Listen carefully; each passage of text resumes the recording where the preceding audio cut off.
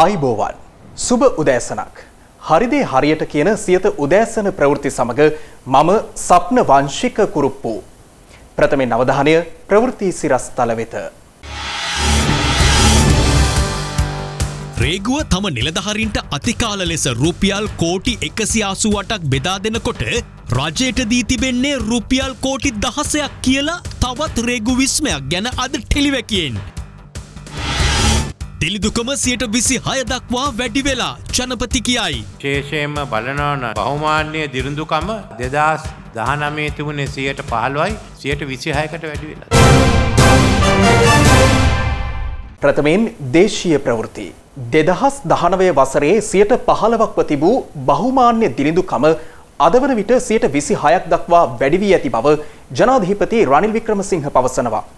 රටක් ලෙස වැටී සිටි අප දැන් දෙපයි නැගිට ඇවිදීමට පටන්ගෙන ඇති බවයි ජනාධීපතිවරයා පෙන්වා දෙන්නේ.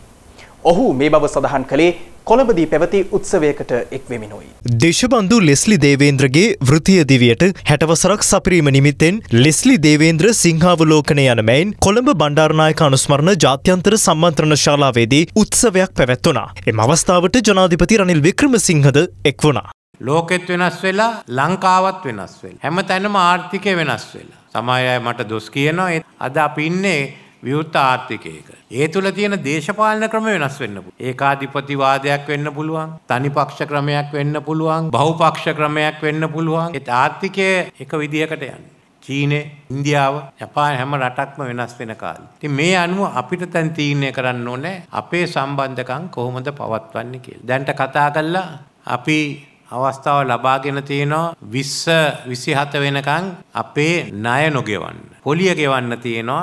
ඒක තවත් දීර්ඝ කාලයක් 2042 වෙනකන් ණය ගෙවන්න කාලෙ ඉල්ලලා තියෙනවා. ආනයනය පදනම් කරගත් ආර්ථිකයේ ඉන්නවනම් ආපහු ණය ගන්න වෙනවා ඊට අමතරව. ඉතින් විදේශ ණය ගන්නකොට අපි කොහොමද මේ විදේශ ණය ගෙවන්නේ? මම දන්නවා ජනතාව වින්දේ දුක. තාමත් විඳින දුක. බොහෝ දෙනෙක්ට සමාජයට දාගත්ත භාණ්ඩ වලින් කොටසක් අද මිලදී ගන්නෑ. සමහිට බලනවා මේවා අපි අතහරින්නම් දරුවන්ගේ ටියුෂන් වලට ගෙවන්න. පිළි අරගෙන වැඩ කරන්න. අද අපි විශේෂයෙන්ම බලනවන බහුමාන්‍ය දිරුඳුකම දෙදස් දහනමේ තිබුණේ සියයට පහළුවයි සියයට විසිහයකට වැඩි වෙලා තියෙනවා. අපි දැන් එකඟ වෙලා තියෙනවා 20 32 වෙනකොට. ඒක 110කට අඩු කරන්න. කොහොමද මේ අවුරුද්දේ රජයේ සේවකයන් රුපියල් 10000ක දීමනාවක් දීලා. පුද්ගලික අංශයත් ඒ වගේම පඩි වැඩි කරලා තියෙනවා. ඊට වඩා අපිට දෙන්න අද ශක්තියක් නැහැ. එහෙම දෙන්න ගියොත් ආපහු වැටෙනවා. ඒත් එන අවුරුද්ද දිහා බලලා රජයේ අංශයේ වැටුප් විෂමතා විසඳන්න කියලා හැම ශේත්‍රයේම කොමිටියක් පත් කරන්න අපි තීරණය කළා තියෙනවා.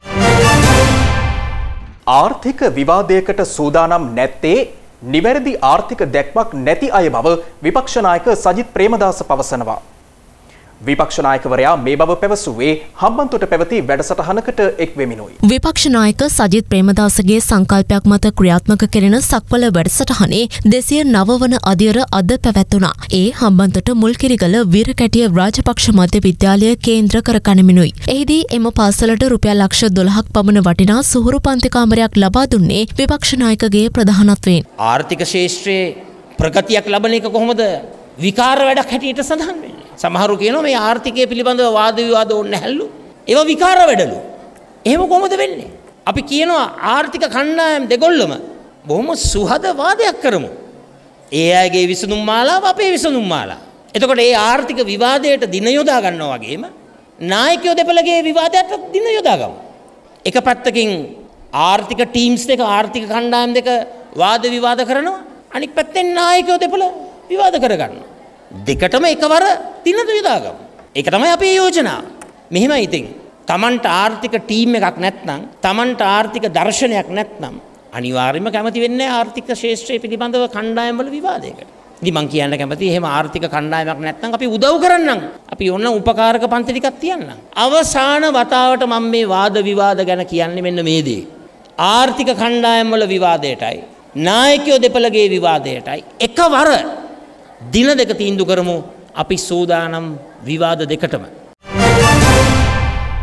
අධිකරණයට අපහාස කළේ යැයි චෝදනා කරමින් හිටපු ජනාධීපති මෛත්‍රීපාල සිරිසේනට එරෙහිව අභ්‍යාචනාධිකරණය හමුවේ පෙත්සමක් ගොනු කර තිබෙනවා. මේ සම්බන්ධයෙන් ලබන ජූලි දසවනදා අධිකරණය හමුවේ කරුණු දක්වන ලෙස දන්වා හිටපු ජනාධීපතිවරයාට නොතීසි යැවීමට පියවර ගන්නා ලෙසටයි අභ්‍යාචනාධිකරණය නියෝග කළේ. අධිකරණයට අපහාස කළේ චෝදනා කරමින් ගොනු කර ඇති පෙත්සමක් සම්බන්ධයෙන් ලබන ජූලි මස දහවනදා අධිකරණය හමුවේ කරුණු දක්වන ලෙස දන්වා හිටපු ජනාධිපති මෛත්‍රීපාල සිරිසේන වෙත නොතීසි ඇවීමට පියවර ගන්නා ලෙස අභ්‍යාචනාධිකරණය අද නියෝග කළා. ශ්‍රී ලංකා නිදහස් පක්ෂයේ විධායක සභිකයෙකු වන මොන්ටේගු සරත්චන්ද්‍ර ඉදිරිපත් කළ පෙත්සමක් සලකා බැලීමෙන් පසුවයි අභ්‍යාචනාධිකරණය පෙත්සම්කාර පාර්ශවයේ නීතිඥවරයා වෙත මෙම නියෝගය නිකුත් කළේ. පෙත්සම්කරු කියා සිටින්නේ තමන් විසින් ගොනු කළ නඩුවක් විභාග කළ කොළඹ දිසා අධිකරණය හිටපු ජනාධිපති මෛත්‍රීපාල සිරිසේනට ශ්‍රී ලංකා නිදහස් පක්ෂයේ සභාපතිවරයා වශයෙන් කටයුතු කිරීම වලක්වාලමින් ඉකුත් අප්‍රේල් විසි හතර වනදා අතුරු තහනම් නියෝගයක් නිකුත් කළ බවයි. එම අතුරු තහනම් නියෝගය දිසා අධිකරණය නඩු විභාගය අවසන් වනතෙක් බල පැවැත්වෙන බවත් පෙත්සම්කරු සඳහන් කළා. එසේ තිබියදී වගඋත්තරකාර මෛත්‍රීපාල සිරිසේන අදාළ අධිකරණ නියෝග උල්ලංඝනය කරමින් එම පක්ෂයේ සභාපතිදුරේ කටයුතු කර ඇති බවත් පෙත්සම්කරු චෝදනා කළා. මේ තුළින් මෛත්‍රීපාල සිරිසේන කොළඹ දිසා අධිකරණය නිකුත් කළ අතුරු තහනම් නියෝගයේ උල්ලංඝනය කරමින් කටයුතු කර ඇති බවත් ඒ අනුව ආණ්ඩුක්‍රම ව්‍යවස්ථාවේ එකසිය පහේ තුන වගන්ති යටතේ අධිකරණයට අපහාස කිරීමේ චෝදනාව සම්බන්ධයෙන් දඬුවම් නොකිරීමට හේතු විමසා ඔහු වෙත සිතා සියවීමට නියෝග නිකුත් කරන ලෙසත් පෙත්සම්කරු ඉල්ලා සිටියා. ඊට අමතරව මෛත්‍රීපාල සිරිසේන අධිකරණයට අපහාස කිරීමේ චෝදනාවලට වරදකරු කොට ඔහුට සුදුසු දඬුවම් පැමිණවීමේ නියෝගයක් නිකුත් කරන ලෙසත් පෙත්සම්කරු වැඩිදුරටත් ඉල්ලා සිටියා. දූෂණය වංචාව නාස්තිය අක්‍රමිකතා සහ අකාර්යක්ෂමතාව ගැන රටට ඇත්ත කියන ටෙලිවිෂන් ටෙලිවැකිය දැන්. ටෙලිවිෂන් ටෙලිවැකිය. අදලියන්නේ පන්සියදා හතරවැනි ටෙලිවැකිය. කොහොමද පසුගේ ටෙලිවැකි දෙක නේද. ශ්‍රී ලංකා රේගෝ ගැන විගණන වාර්තාව බලන්ට බැරූගියා ඉන්නවනං YouTube එකට හරි ගිහිල්ලා බලන්ට හොඳේ බලන්ටම වටිනවා. මේ රටට මොකද වෙන්න කියලා නේද. තව ටිකක් තියෙනවා රේගෝ ගැන ලියන්ට. ඒක ලියලම විගණකාධිපති මේ තමන්ගේ රාජකාරිය ගැන කියන කතාවකුත් අහලා අද ටෙලිවැකි අවසන් කරන්ටයි සැලසුම් කළේ හොඳේ. දැන් රේගු නිලධාරීන්ටත් වැටුප් ලැබෙනවන නේද. සාමාන්‍යයේ රජේසේවකින්ට වගේ ඒ උන්දලටත් රටේ ජනතාවගෙන් නේද බදු මුදල්වලින් වැටුප් ගෙවනවා. රේගු නිලධාරින්ගේ රාජකාරිය හරි අමුතුයි. රේගු නිලධාරීන් රාජකාරියට වාර්තා කිරීම පමණක් සිදු කළත් වැටුප් හම්බෙනවා දිරිදීමන හම්බෙනවා අතිකාල ගෙවන බව. අතිකාල ගෙවන බවත් මේ විගෙනන වාර්තාව නිරීක්ෂණය කරලා එක නිකන් ජොබ් එකට එනවට එක මාරයි නේද සාමාන්‍ය රාජකාරි වෙලාවෙන් පරිබාහිරව සේවේ යෙදුනද නැද්ද කියලා බලන්නේ නැතිව අර රේගු අතිකාල අරමුදල කියල එකක් තියෙනවානි ආංඒකෙන් සියට අනුවක්ම රේගු නිලධහරින්ට අතිකාලගෙ වෙලා තියෙනවා. මරු අර මුදල් නේද මේවා. ඉතිරිසියට දහය තමයි රාජ්‍යාදායමට බැර කරලා තියෙන හරද මේක මරුගේමක්. වැඩ කළත් නැතත් සියලු දෙනාටම සැලකිලිනේද එතකොට අර වැඩියෙන් ලැබෙන අයයි නිකම් ඔහේ ඉඳලා මොනවා හෝ ලැබෙන අය අතර එකැනෙ රේගු නිලධහරින් අතර ගැටුම් ඇතිවෙන්නෙත් නෑන නේද? කියක් හරි හම්බෙනවානෙනේ මරු ක්‍රමයප්පා දැන් මේ විදිහට සේවය කලාද නැද්ද කියලා.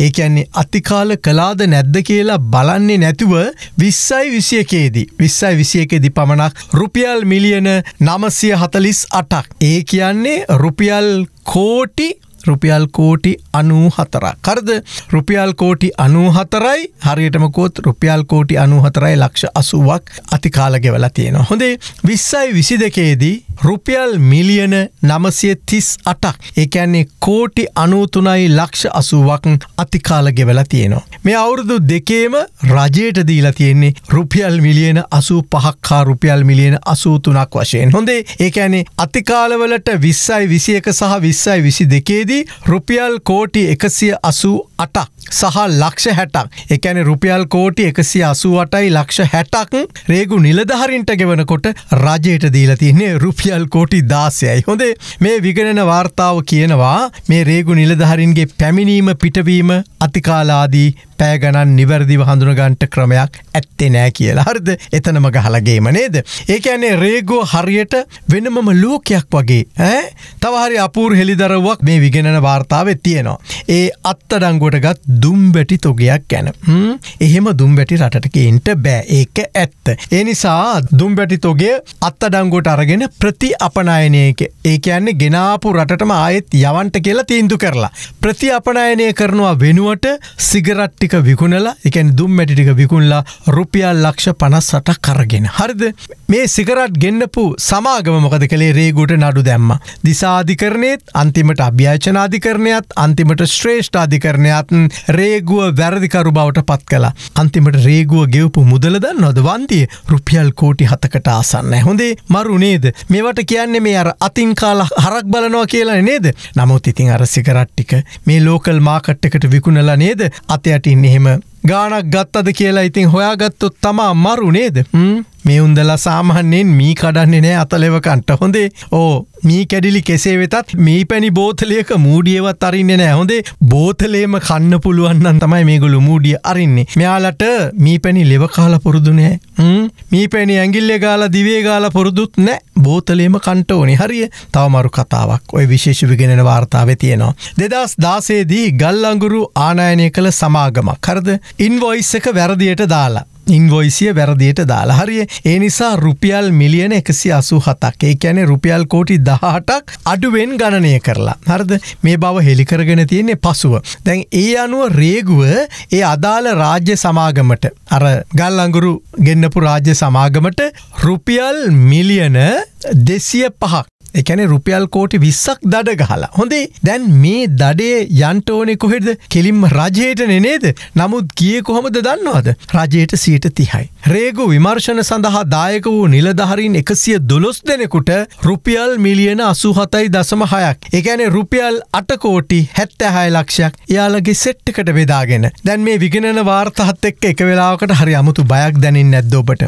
ඒ අපේ දේශපාලන නඩය සිය වෘති අත හැරලා. රේගු රැකියාවකට ඇයිද දන්නේ නෑ කියලා නේද. කොහොම හරි ඒ තරමටම ලොකු අවුලකුත් නෑ. මොකද අපි දෙන්න එකට එකතුවීලා තමයි වැඩේ දෙන්න කියන තීරිය තමයි අපේ රටේ තියෙන්නේ කියලා. ඒනං ඉතින් ඕන් අද ටෙලිවැකිය අවසන් කරනවා.